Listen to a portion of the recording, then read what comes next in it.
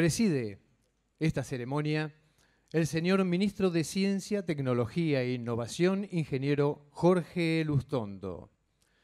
Se encuentra acompañado por el señor Rector de la Universidad de Quilmes, doctor Alejandro Villar, por el presidente de la Comisión de Investigaciones Científicas, ingeniero Pablo Romanazzi, por el doctor Alejandro Villar, bien les decía, y el señor Intendente Municipal de Quilmes, don Martiniano Molina. También acompañan a las citadas autoridades los señores subsecretarios del citado Ministerio de Ciencia, los señores subsecretarios de Articulación, doctor Alberto Torres, de Gestión y Difusión del Conocimiento, licenciado Mateo Niro, y de Ciencia y Tecnología, licenciado Fernando Lapola, señores miembros del directorio de la comisión, los doctores Carlos Rossi y Guillermo Tamarit, y el ingeniero Osvaldo Agamenoni. Se encuentran también presentes el señor presidente de la Universidad Nacional de La Plata, licenciado Raúl Perdomo, el señor gerente de servicios tecnológicos del CONICET, doctor Jorge Tesón, la señora directora del CONICET La Plata, doctora Pilar Peral García, la señora diputada provincial Rocío Antinori, el señor rector de la Universidad de Hurlingham, licenciado Jaime Persic, señores funcionarios nacionales, provinciales y municipales, señores concejales, representantes de distintos claustros docentes y estudiantiles, señores representantes de entidades intermedias, medios de comunicación, señoras y señores, una vez más, muchas gracias a todos ustedes por acompañarnos en este acto inaugural. Escucharemos, acto seguido, palabras de bienvenida del señor rector de la Universidad Nacional de Quilmes, doctor Alejandro Villar. Gracias. Bueno, eh, buenos días a, todas y a todos. Bienvenidas y bienvenidos. La verdad, estamos eh, muy contentos, muy orgullosos que el Ministerio nos haya elegido para realizar este encuentro aquí. Eh, me decían hoy que es la primera vez que se hace fuera de La, Plata. No fueron muy lejos, pero por lo menos ya estamos este, en otro lugar. Eh, pero en serio, la verdad que estamos muy, muy orgullosos. Eh, creemos que sin duda este es un tema central para la Argentina. Hoy estamos aquí en esta, en esta universidad, en esta casa, eh, que fue una industria textil. Fue aquí donde se hizo la revolución industrial en el siglo XX en la Argentina y es donde nosotros desde este lugar tenemos la responsabilidad de contribuir a la revolución del conocimiento y de la información. Tenemos desde este lugar, como uno más de una red de universidades, del sistema científico, tecnológico, pero también del Estado y del sector privado, somos responsables de lograr que la Argentina incorpore a la ciencia y a la tecnología como uno de los ejes centrales de su desarrollo, porque si no, nunca vamos a terminar de convertirnos en un país más grande y más equitativo. Por eso para nosotros es, la verdad, un verdadero este, orgullo que ustedes estén aquí, nos da mucha satisfacción, ponemos nuestra casa a disposición del señor ministro, nos alegra mucho que además nos acompañe hoy el intendente, estamos convencidos, como les decía, que es el Estado en sus tres niveles de, de poder, junto con el conocimiento y junto con el sector productivo, el que tiene que trabajar para que la Argentina sea un país más grande. Así que nada más, decirles que esperamos una jornada de, mucho debate, de mucho avance y que esperamos que este sea entonces un elemento más que contribuya para consolidar una política científica y tecnológica para nuestro país. Nada más, muchas gracias.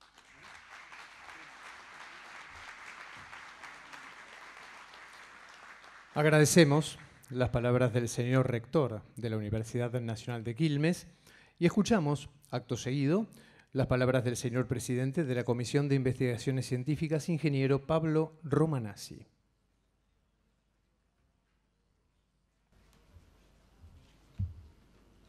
Buenos días a todos. Muchas gracias por estar acá. Eh, muchas gracias, señor rector, porque ha sido un excelente anfitrión. Hemos trabajado hace muchísimos meses desde la primera vez que vinimos acá y bueno, finalmente se concreta. Muchísimas, muchísimas gracias. El soporte que nos da obviamente el Ministerio, Es un orgullo tener un ministro incansable que recorre la provincia, que la recorre y que está cerca de los problemas. Bueno, este es un evento más al cual se suma. Y por supuesto a Martiniano Molina, el intendente de Quilmes, que también siempre nos ha abierto su casa y nos ha apoyado en todas las actividades que terminamos desarrollando con la SIC. Así que especialmente muchas gracias a su presencia aquí. Sabemos que tiene una agenda muy complicada. Gracias al sistema de gestión de la SIC que implementó el Departamento de Sistemas, tenemos el último corte de lo que ha sido las estadísticas de este evento. Podemos anunciar entonces que hay más de 125 trabajos presentados, de los cuales hay 33 centros de los 54 asociados a la SIC que han también presentado eh, trabajos este, como emblema de lo que vienen llevando adelante. Les hemos pedido a todos que, eh, en la medida de lo posible, encaminaran sus presentaciones en las tres líneas de trabajo que tiene la SIC lanzadas para este año, en materia de agua, en materia de energía sustentable y ambiente. Eh, todos ellos han cumplido con creces, estamos muy orgullosos de todos los trabajos que han presentado. Se han inscrito para este congreso más de 569 personas. Este, de los cuales 172 son autores de trabajos. Realmente creo que esto es realmente un logro importante, que deberíamos decirlo. nos espera un programa arduo en esta jornada. Eh, seguramente después de, esta, la ceremonia oficial eh, vamos a dar este, este, la, despedida a las autoridades, que, bueno, por supuesto están invitados a acompañarnos, pero sabemos que la agenda es muy, es muy este, intensa, pero a continuación vamos a tener dos conferencias que recomiendo que podamos asistir, que son, por un lado, la conferencia del doctor Jorge Rabasa, amigo, ¿eh? este, está por ahí, Jorge, acá está, sobre eh, calentamiento global y el retroceso de los glaciares, un tema vinculado al ambiente, obviamente. También tenemos a la doctora Ana María Girardelli, que va a hablar sobre patología ambiental. Eso nos va a ocupar gran parte de la mañana. Y después van a venir a continuación cinco exposiciones de trabajos de centros que justamente están emparentados con estas tres líneas que acabamos de marcar, agua, energía y ambiente. ¿eh? Tenemos, han sido seleccionados para este, formar parte de las disertaciones cinco estudios, cinco trabajos eh, que tienen que ver, como les decía, dos de ellos con agua, los voy a mencionar, eh, estudios de procesos hidroambientales en una zona de llanura, en la provincia de Buenos Aires. Va a estar a cargo del doctor Guillermo Collazos, que es representante del Instituto de Hidrología de Llanuras de Azul y también con sede en Tandil. El manejo del recurso hídrico subterráneo en áreas urbanas de la provincia de Buenos Aires, que va a estar a cargo del doctor Eduardo Cruce, eh, que es también director del CEIDE, un centro asociado a la SIC. Después vamos a escuchar también al licenciado Luis Martorelli, que va a hablar sobre energía solar térmica de concentración, un tema muy novedoso, eh, en realidad muy alentador todos sus trabajos. Él pertenece al centro CEMECA, un centro propio de la SIC. También tenemos el estudio multidisciplinario de enfermedades crónicas relacionadas a desarreglos en, eh, en el peso corporal, que de origen multifactorial y de relevancia regional y nacional, un poco largo el nombre, eh, a cargo de Mario Perello, el del INVICE, para que vean que también nos, atraviesa los otros tres temas que nos hemos eh, tomado como base, que es el tema de salud, de seguridad, de educación. Y por último, vamos a tener eh, la contribución de Betina Galarza con el desarrollo de procesos destinados a minimizar el impacto ambiental de las curtiembres en la provincia de Buenos Aires, un tema de contaminación importantísimo que hay que resolver ella es representante del CITEC, un centro que auspicia el INTI y el SIC. Así que como ven, eh, creo que tenemos una agenda bastante importante. Eh, también tenemos contribuciones de eh, simposios que se van a dar en, la tarde. Uno de ellos está vinculado a este, medicina forense. Y también tenemos este, un simposio sobre comunicación y ciencia que va a estar muy interesante por los panelistas que, están comprometidos a, participar en él. Unas breves palabras para ya dar este, este, lugar al resto de la mesa para que puedan expresar sus opiniones. Eh, yo tomé como base el discurso o la, presentación que hicimos el 14 de marzo cuando asumimos la conducción de la SIC. En ese momento este, nosotros hicimos un análisis de la situación, eh, nos habían dejado una XIC bastante ordenada, los presidentes anteriores y las autoridades anteriores, este, pero teníamos la necesidad de hacer profundos cambios. Hicimos un inventario, hicimos una auditoría todos estos meses para saber dónde estábamos parados. Sabemos que el inventario siempre es inspirador de soluciones. Primero hay que saber con qué se juega para después tomar las decisiones. Eso es lo que nos inspira, por lo menos el método científico. Y hicimos una mirada interior, en ese momento le decíamos, este, son 60 años casi que cumple la SIC en el territorio bonaerense, ¿no? es casi, eh, digamos, un poquito antes que la creación del CONICET. Siempre fue muy prestigiosa la SIC, pero este, paradójicamente en algunos ámbitos todavía de la, provincia de Buenos Aires es poco conocida, así que había que incentivar de alguna manera este, todo lo que produce la SIC en materia de ciencia y tecnología. Y esto también lo teníamos que cruzar con que tenemos este, una realidad difícil en la provincia de Buenos Aires, que nos obliga a tomar un compromiso importante para satisfacer esas necesidades. Eh, los proyectos especiales que estamos encarando desde la presidencia, proyectos institucionales, tienen que ver con eso, poder llegar a resolver un poquito o mejorar un poquito la calidad de vida de todos nuestros conciudadanos bonaerenses. Eh, por supuesto que son proyectos que intentan eh, provocar un desarrollo, dar trabajo, formar recursos humanos, sustentados en el tiempo, porque si no, estos siempre son este, como estrellas fugaces, ¿no? Hacemos un gran esfuerzo por implementarlos y después resulta que este, a pocos años este, todo cae digamos, eh, en, debilidad y no se pueden sustentar. Así que también estamos pensándolo al revés, es decir, pensamos iniciando los trabajos, cómo lo vamos a hacer para que este, tengan justamente una, gran este, trascendencia en el tiempo y que pueda este, justamente trascender las gestiones políticas y que cualquiera sea el gobernante de turno pueda tenerlo como un bastión para apoyarse y decir estamos haciendo un logro este, en conjunto. Lo importante de decir en este mensaje, y creo que de todas las contribuciones que vamos a tener durante toda la jornada, es que el sistema científico-tecnológico, ya sea nacional o provincial, todos los que estamos incluidos en él, estamos entrenados para manejar cierta incertidumbre, la incertidumbre que nos, que nos plantean los fenómenos que estamos enfrentando, que son fenómenos dinámicos, mutan permanentemente. Eh, no sabemos a ciencia cierta cuáles van a ser muchas veces las características que ellos tienen. Y por lo tanto, este, esta forma de contribuir al conocimiento de ellos, esta forma de abordarlos, seguramente van a reducir el riesgo de que se produzcan nuevos conflictos, obviamente tratar de paliar los flagelos en la población más vulnerable, pero fundamentalmente también si podemos evitar desastres bienvenido sea, ¿no es cierto? Como decía, estos problemas son eh, permanentes y dinámicos, lo cual obliga a que instituciones como las nuestras, que son las que van a estar siempre, estén comprometidas para estar siempre ahí al pie del cañón y sobre todo para algo que venimos predicando hace mucho tiempo con el ministro, que como dije es un ministro incansable, que está siempre recorriendo la provincia y está cerca de los problemas, con todo ese equipo de ministerio que está divulgando todo lo que hace la ciencia eh, bonaerense a través de sus investigadores y de, este, sus tecnólogos. Decíamos que eh, lo importante es que podamos contribuir con información relevante para que los decisores puedan tomar entonces las decisiones que tienen que tomar a la luz de, esas, de ese conocimiento. Esta es la forma que pensamos que los conflictos se van a reducir y por supuesto que los desastres van a poder ser evitados tenemos todo tipo de calamidades en la provincia últimamente. El tema del agua es un tema dominante, pero también el tema de la contaminación ambiental, el tema de, obviamente, los temas de salud de base, la infraestructura social básica que debe ser acompañada con obras, todo está por hacer. Pero es importante que me parece que se produjo un cambio en la orientación de cómo se está administrando el esfuerzo. Regularmente asistimos a y cómo se está gestionando. Regularmente asistimos, le decía, a mesas de seguimiento de los proyectos que encabeza la misma gobernadora y todos los ministros. Y ahí se tienen la oportunidad de enterar de primera mano qué es lo que estamos haciendo. Es como rendir examen todos los meses durante tres días, tres jornadas que este, realmente son muy interesantes.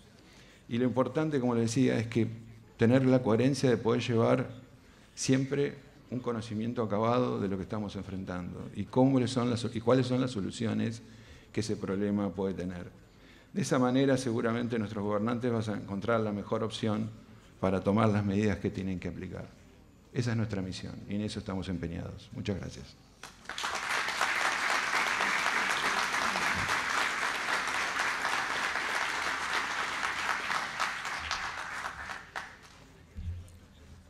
Agradecemos las palabras del señor presidente de la Comisión de Investigaciones Científicas, ingeniero Pablo Romanazzi, y escucharemos a continuación la palabra del señor ministro doctor Jorge Elustondo.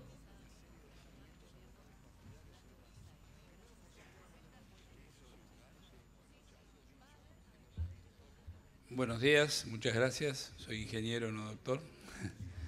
Eh, bueno, quiero agradecer muchísimo la presencia de todos ustedes, agradecerle al rector, ya se lo he hecho personalmente, y en la figura del rector, a los rectores, Raúl, que siempre nos acompaña, que nos permitió alejarnos un poquito de La Plata, pero no, tan lejos, así que gracias Raúl, eh, acompañándonos. Eh, quiero agradecerle a Pablo, bueno, obviamente a Martiniano, que desde aquel primer día que decidimos, cuando vinimos con Guillermo Anjó, que este, se lo hemos prestado a la UNESCO por un, por un, rato, pero va a volver, sigue estando con nosotros. Realmente para nosotros es un, es un lujo que ese primer subsecretario de Ciencia y Tecnología, que me acompañó desde, diciembre de 2015, haya sido elegido para una representación semejante en la UNESCO y que nos va a seguir apoyando. Eh, agradecerle al directorio de la SIC, muchas gracias por estar, por acompañarnos, por todo el trabajo hecho desde el comienzo de la gestión, acompañando la primera etapa y acompañando eh, con mucho entusiasmo esta, esta segunda etapa. Eh, agradecer a las autoridades del CONICET, ahí lo veo a Pilar, lo veo a Jorge, realmente quiero decirles que la apertura que ha habido eh, en el sistema realmente ha sido extraordinaria. El lunes compartimos una larga reunión con el doctor Checato, lo hacemos con, frecuencia.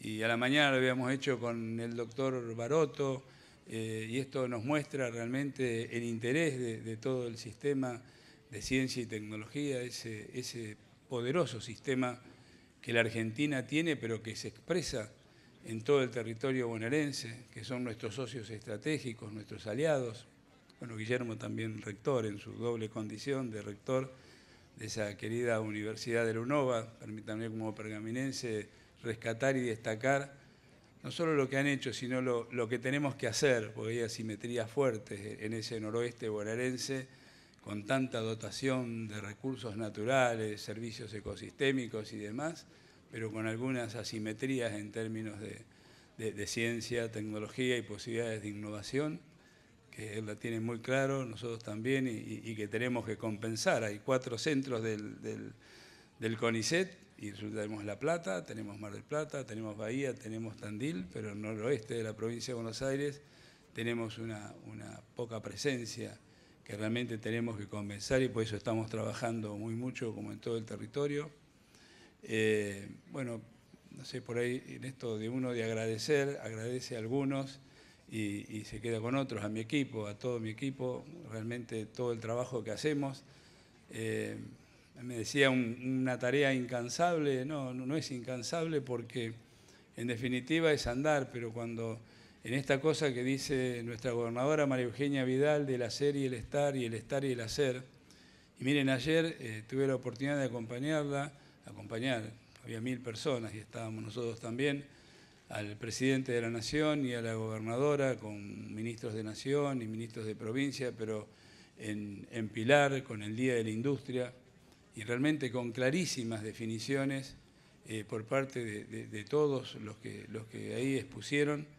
Pero yo quiero rescatar eh, eh, el mensaje de la gobernadora y, ese, concepto que ella puso en el estar, en el hacer y en el hacer y en el estar y, que no es de cualquier manera, no es hacer por hacer, no es estar por estar, y hay que estar adecuadamente en cada lugar con una interlocución muy fuerte en el territorio con sus actores, con su gente, para escuchar, para comprender, para entender lo que pasa y para que entonces ese, en ese estar nos nutramos para el hacer, para hacer lo que tengamos que hacer para mejorar la calidad de vida de los bonaerenses en todos y cada uno de los rincones. Esta provincia nos duele y yo quiero aprovechar estas palabras. este espacio para hacer una reflexión conjunta, que me la hago todos los días, quizás me han escuchado varias veces, lo hablamos mucho en Bahía Blanca. Yo le agradezco al CONICET esa apertura que ha tenido de, abrirse y convocar a, las universidades y, convocar e incluir a la SIC. Y ya en esa apertura avanzamos y se está sumando la CONEA y se está sumando la CONAE y se ha sumado el INTI y el INTA y, todo, todo, este capital humano, estas capacidades instaladas que están en la provincia de Buenos Aires y que son un reto para nosotros. Porque realmente eh, eh, cuando nosotros vemos lo que pasa en el territorio bonaerense, cuando realmente nos sacude una realidad terrible con indicadores eh, sociales que nos muestran realmente estas calamidades que decía Pablo y que no se corresponden con lo que teníamos que haber sido, con lo que podríamos ser hoy, cuando vemos cómo estaba esta provincia hace 100 años, cómo la habían pensado, cómo la habían proyectado, ver La Plata y, sus edificios allá por 1910, 1915, cómo había sido pensada. Yo estoy seguro que nadie podía imaginar que 100 años después íbamos a estar como estamos. Cuando uno ve en Punta Alta, en el Museo Darwin, ese mapa de la provincia de Buenos Aires de 1915 que les invito a verlo, donde muestra una Buenos Aires en 1915 con su red portuaria, con su red de caminos de primaria y secundaria, con su, con su, con su red ferroviaria, con sus puertos. Era 1915. Darwin había elegido estar dos años ahí. Ahí se había hecho la base naval de Puerto Belgrano en 1915 890 y 1895, y ahí está esa infraestructura, ahí está, está esa posibilidad de innovar en ese sudoeste. Entonces yo digo, ¿qué pasó? Porque si hoy el presidente de la República y la gobernadora, con sus ministros de infraestructura, le dijeran a los bonaerenses, miren, al final de nuestro mandato, del segundo mandato o al cabo de tantos años, esta provincia va a estar y pusieran ese mapa de 1915, todos, todos pensaríamos que estamos frente a una utopía, frente a una situación voluntarista. Esta es la tragedia, esto es lo que nos pasa, esto es lo que nos interpela, esto es lo que nos duele y, y yo me hago cargo de esto porque esto es responsabilidad de la política. La política, la mala política nos ha llevado a este camino. Somos el único país Debe haber pocos países, debe haber pocas situaciones, yo no las conozco, alguno me las puede contar, bienvenido. Que no puedan exhibir, o que peor, que les puedan decir que han retrocedido en 100 años. ¿Qué nos ha pasado? ¿Qué nos ha pasado de cuando vemos que tenemos una provincia que con orgullo exhibe este capital humano, estas capacidades instaladas, una provincia que exhibe que la inversión en investigación y desarrollo es superior en un 30% a la de Chile, que supera la de Colombia, que realmente muestra números extraordinarios, digo, ¿qué pasó? ¿Qué es lo que ha pasado? ¿Qué es lo que no ha ocurrido? Y si superponemos en un mapa la inversión y la localización en el territorio bonaerense de la inversión en ciencia y tecnología, en investigación y desarrollo, vamos a ver que en muchos lugares se superponen con los peores indicadores sociales, con las peores condiciones de vida, con los índices de pobreza alarmantes, con índices de pobreza en la niñez que superan el 60%. Entonces algún distraído podía plantear, o algún malintencionado podía plantear y decirnos, que cuanto más invierto en ciencia y tecnología, que cuanto más invierto en investigación y desarrollo, las consecuencias en el territorio son más pobreza, más indigencia, más africanización. Esos son los índices que tenemos. Como yo sé que eso no es así, tenemos que evitar que malintencionados o desinformados avancen en ese camino. Nosotros decimos y sabemos que los países que se han desarrollado y que se desarrollan no invierten porque, porque son desarrollados, sino que porque invirtieron en investigación y desarrollo, en ciencia y tecnología, tienen las condiciones que tienen. Entonces, ¿qué nos ha pasado a nosotros? Y yo me permito una reflexión y compartirla con ustedes, porque tiene que ver con este Congreso, porque tiene que ver en este primer año que cumple hoy este ministerio. Yo digo y rescato que la gobernadora María Eugenia Vidal tomó una decisión reparadora, histórica, puso la ciencia en rango ministerial por primera vez en la historia de la provincia de Buenos Aires. Y con eso nos desafió, porque me interpela permanentemente. Siguió lo que le habíamos planteado. Ahora bien, para cumplir con esa responsabilidad, este ministerio que va a ser muy pequeño, muy pequeño, pero muy dinámico, muy inquieto. Sí, vamos a seguir caminando el territorio con mi equipo, con todas y cada una de las propuestas que estamos haciendo porque nuestra tarea cobra sentido si llegamos al territorio y a la gente. Nuestra tarea cobra sentido si todo lo que ustedes hacen, recién Pablo hablaba de los más de 60 años de la SIC, y sí, también en eso se sustentó la decisión. Somos la única provincia que tenemos nuestro propio Instituto de Ciencia y Tecnología, pero que convive en ese territorio con la mitad de las universidades del país universidades de excelencia, universidades comprometidas, formando a decenas de miles de jóvenes, de talentos, con capacidades extraordinarias y con propuestas y con científicos e investigadores que tienen respuesta para todos y cada uno de los problemas que se han planteado y que vemos en el territorio. Entonces, ¿qué ha pasado? Quizá la mitad de los investigadores del CONICET también realizan sus actividades en la provincia de Buenos Aires un 70% aproximadamente de la producción del INTA se da en la provincia de Buenos Aires. Poco más de eso del INTI se da en la provincia de Buenos Aires. Y tenemos al CITEFA de las Fuerzas Armadas y un ministro de Defensa, antes Julio Martínez, hoy Oscar Aguad, que dice, vamos adelante, potenciemos esto. Una base naval de Puerto Belgrano que nos abre las puertas cada vez que vamos a ese sudoeste. Las universidades del sur, realmente una apertura extraordinaria, ni hablar de las 600 escuelas técnicas, de las 21.000 que tiene la provincia de Buenos Aires. Fíjense qué capital humano, fíjense cuántas capacidades instaladas. Entonces, ¿qué pasó? Yo me permito reflexionar con ustedes y, y tomar un compromiso y también tratar de comprometerlo. Yo sé que contamos con ustedes y por eso tomé el desafío y la responsabilidad. Pero tenemos que advertir qué pasó entre la política y la ciencia, la ciencia y la política, entre los decisores, en quienes tuvieron la responsabilidad de decidir. Y decidir cuando uno ocupa un cargo es asignar recursos, es llegar al territorio, es mirar y observar los impactos, es tener claro qué es lo que uno quiere hacer, es tener claro a quién va dirigida, qué objetivo queremos tener. Entonces, ¿cómo puede ser que haya pasado lo que pasó?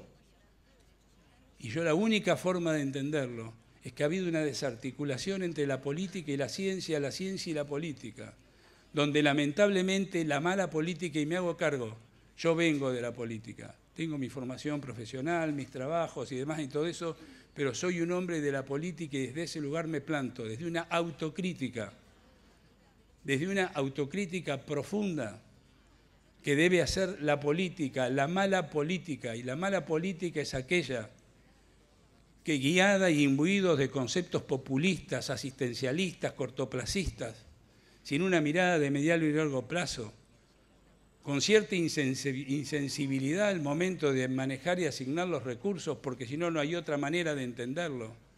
Esa mala política que al momento de tomar sus decisiones de asignar los recursos, y estoy hablando a nivel nacional, a nivel provincial y también a nivel de los municipios, y estoy hablando en los tres niveles, ejecutivo, legislativo y judicial. Esos decisores no consultaron a la academia, no fueron por el saber, por el conocimiento, por el talento, por la honradez intelectual, política, para tomar sus decisiones. No lo hicieron. No lo hicieron, si no, no estaría pasando lo que está pasando. Entonces yo recojo el guante desde ese lugar porque cambiamos. Y cuando digo cambiamos y digo y rescato la decisión del presidente de la República de ratificar inmediatamente la política científico-tecnológica al momento de, ser eh, elegido presidente de la República, conformando, eh, confirmando al ministro Baraniago, a su equipo y integrando a parte de su equipo con otros eh, integrantes del equipo que, traía, que traíamos en la campaña. Y ahí está, ahí estamos trabajando. Y a los pocos meses la gobernadora María Eugenia Vidal, viendo todo esto, toma esa decisión de poner a la, ciencia en rango ministerial y ahí estuvimos en Punta Indio, estuvo el presidente, el ministro Barañao, la gobernadora María Eugenia Vidal, y en Punta Indio, donde se ratificó esta política científico-tecnológica, los 12 proyectos estratégicos, fue muy claro, fue un mensaje muy claro del rol que tenía Buenos Aires como el campo fértil, el terreno propicio para llevar adelante esas políticas. Entonces, esta es la reflexión que yo quería compartir con todos ustedes porque están esos activos, está esa oferta, pero también tiene que haber una reflexión dentro del sistema. Así como la política tiene que hacerse cargo de lo que se tiene que hacer cargo y lo estamos haciendo porque estamos consultando, porque como decía Pablo, jamás un gobernador de la provincia de Buenos Aires convocaba semana a semana al saber, al talento, al conocimiento para tomar las decisiones. Y hoy esta SIC este presidente de la SIC que expresa al conjunto. No podemos ir todos juntos, pero él puede ir y puede exponer y le escuchan los ministros y lo que nosotros planteamos desde este humilde y pequeño ministerio no es lo que hacemos solamente en el ministerio, sino lo que vemos en cada lugar.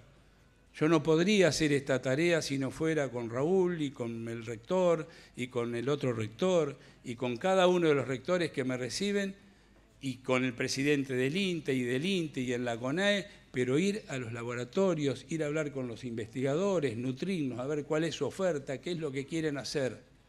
Pero ahí también va la reflexión a ellos.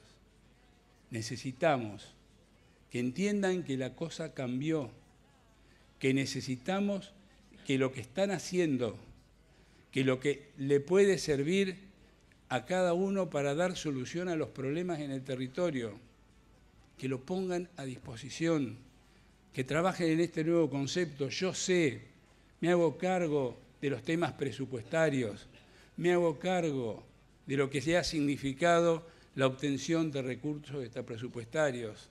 Sé y comprendo y entiendo qué pasó en cada laboratorio, en cada instituto donde tuvieron que recurrir a las transferencias y transferir y bueno y ver cómo hacer para poder pagar la luz, para poder equiparse de una manera, de otra, como fuera, porque la mala política la llevaba por ese camino. Entonces, mi apelación, mi convocatoria y desde ya mi agradecimiento porque sé que esto va a ocurrir, sé que vamos a contar con ese apoyo, sé que todos y cada uno de ustedes lo siento porque he trabajado y estoy en contacto, que cada uno hoy tiene que saber que lo que ha investigado, que aquello que durante años ha tenido como un activo y quizá con desesperación ha tratado de llegar al ministro, al lugar, para decir, aquí está la solución al problema que le va a solucionar el problema a mi vecino, y quizá no fue escuchado, porque claro, si uno iba a asignar mal los recursos, si los impactos no eran los deseados, si los fondos tenían que ir a cualquier lugar como han ido, cómo se iban a nutrir del talento, del conocimiento y del saber. Bueno, nosotros hemos cambiado y nosotros queremos asignar correctamente los recursos, saldar las asignaturas pendientes de esta democracia. Miren, yo acompañé al doctor Alfonsín del primero al último día, tengo ese privilegio.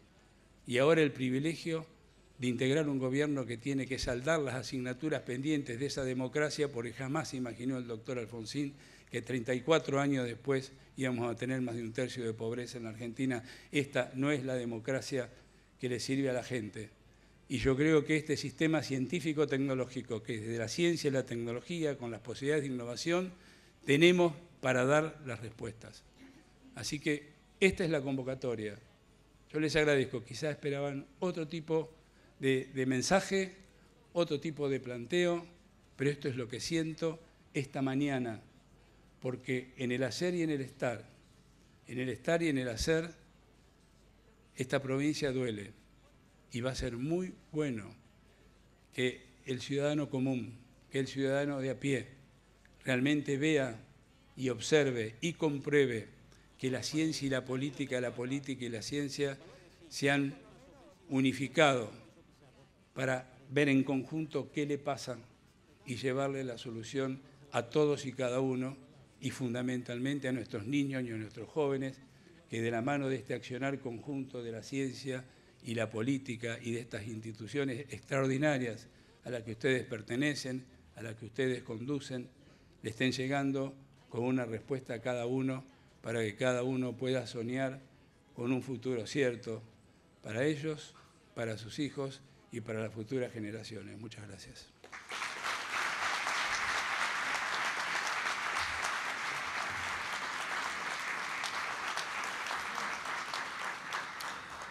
Agradecemos las palabras del señor ministro de Ciencia, Tecnología e Innovación, ingeniero Jorge Elustondo. Queremos destacar que este encuentro ha sido declarado de interés cultural por la Municipalidad de Quilmes mediante el decreto que lleva el número 3310-2017. Invitamos a continuación a su intendente, Martiniano Molina, a pronunciar las palabras.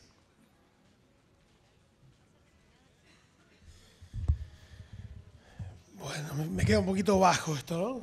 Aunque sos alto, Jorge. No sé si saben que su tío abuelo fue intendente de Quilmes.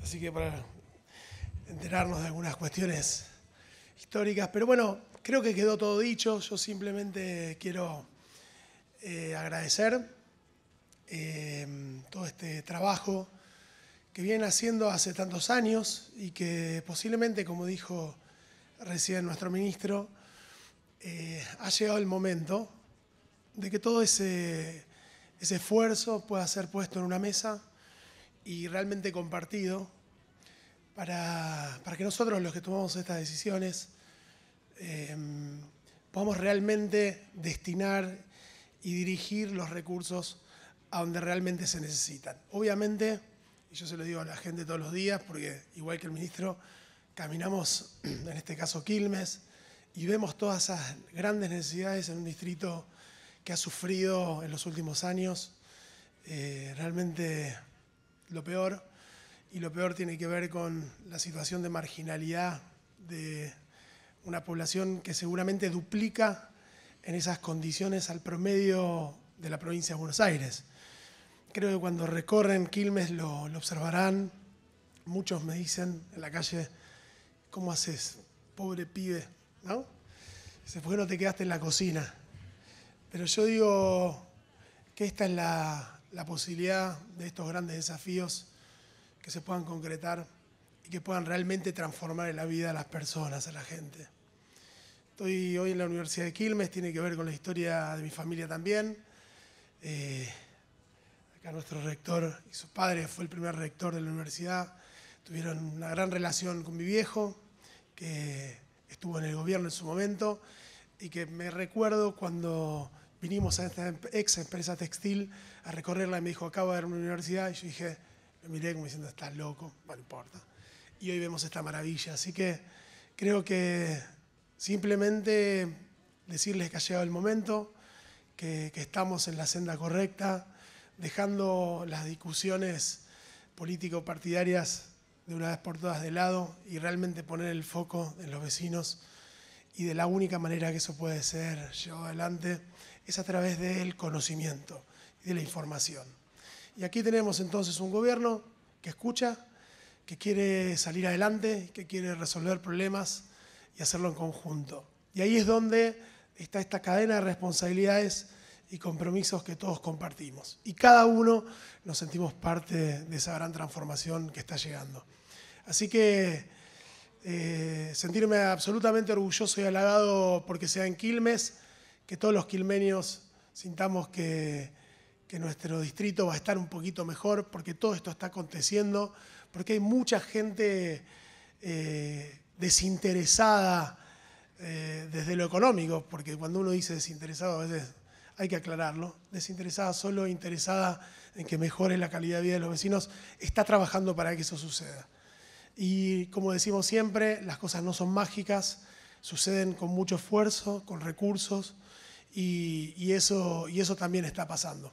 Así que celebrar este encuentro, celebrar este congreso, este cuarto congreso internacional, y, bueno, eh, como intendente de este querido distrito, tan dolido y tan dañado, eh, sabemos que nos estamos poniendo en pie y que, los convocamos absolutamente a todos para este trabajo. No dejamos a nadie fuera, sentarnos todos en una mesa, ponernos de acuerdo la dirección a seguir. Así que muchísimas gracias y que disfruten de esta jornada.